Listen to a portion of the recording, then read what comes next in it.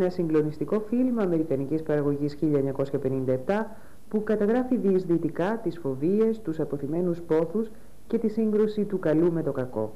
Πρωταγωνιστούν οι θαυμάσιοι Kim Novak και James Stewart. Η διάρκεια της ταινίας είναι 123 λεπτά.